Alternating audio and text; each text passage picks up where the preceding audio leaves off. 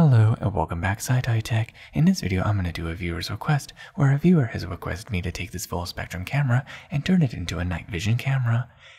In a previous video I showed you how to modify this camera by simply removing the IR cut filter and turning it into a full spectrum camera. To view that, click on the annotation card on the top right. This camera right here is sensitive to infrared light, so therefore I can use this low aperture lens, which is a 1.8 aperture, which can photograph and film very well in a low light. And I have these really bright infrared flashlights, which allows me to be able to shine infrared light, which this camera can easily pick up on. For example, when you look at this infrared flashlight, you can see a little purple dot. Using my own eyes, I see a red dot. And the camera that is filming this sees this purple dot, which is a little bit more sensitive because this camera has an IR cut filter which is blocking the infrared light. Switching into night vision mode, becomes a lot brighter because the IR cut filter that is in this camera that you're viewing this video in is removed temporarily, allowing me to be able to film in night vision. And now it's time to go ahead and test out this camera and see how well this works as a night vision camera, or more accurately, a night vision full spectrum camera. Let's get started. Right now, I am testing out the video mode since this will be the most common thing that anyone would want to do with this kind of camera, and as you can see, it doesn't work very well in the dark, only if I come up close to something. Now I can adjust the settings on this camera, and using a white balance, I'm using the sunlight mode, which makes everything red. If I were to change it to incandescent, everything comes out more blue and purple.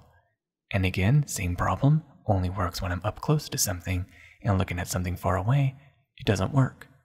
And as you can see, it doesn't work very well. Using this camera as a night vision video camera isn't a good idea.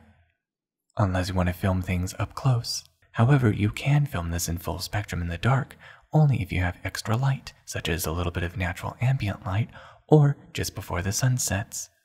Where you have a little extra light, and using the infrared flashlights will also help as well. And now let's go and see how well this photographs. And as you can see, this camera photographs very well in the dark with using this low aperture lens, allowing me to photograph in very low light. And with this camera, it has an automatic mode for whenever I photograph in the dark, it opens up the iris longer, which then allows in more light to be able to photograph in the dark. And with adjusting the white balance mode on this camera, I can put in incandescent, which comes out purple, and when I put it in sunlight mode, it comes out red, which is a very nice feature. And if you wanted to, you can always use this camera for ghost hunting.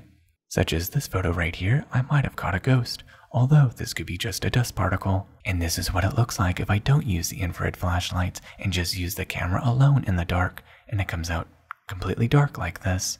Using the infrared flashlight enhances the view, which then looks like this, and this is what it looks like if I photograph from a distance as well.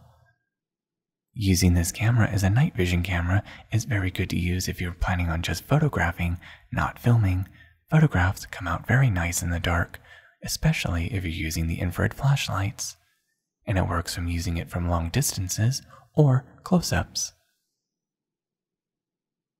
Everything in the photos look very interesting and a little bit eerie, especially if you're adjusting the white balance on the camera from incandescent to sunlight mode. And there you have it. Now you know how to take a Sony a58 full spectrum camera and use it as a night vision camera. Thank you for watching SciTyeTech. I hope you learned something new, and don't forget to like, share, and subscribe, and of course click the bell icon to be notified for future SciTyeTech videos. Till the next tech, goodbye.